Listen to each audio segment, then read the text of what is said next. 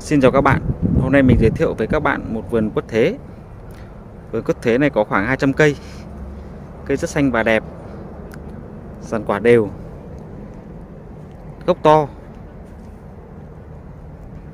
Vườn quất này có địa chỉ tại thôn Đại Hạnh, xã Hoàn Long huyện Yên Mỹ, tỉnh Hưng Yên. Qua clip hôm nay mình chia sẻ với các bạn vườn quất này. Có bạn nào mua cây mình sẽ để lại số điện thoại của nhà chú chủ vườn. Ở trong clip để các bạn liên hệ trực tiếp với nhà chuối. Mình sẽ đi qua một vòng để các bạn cùng tham khảo.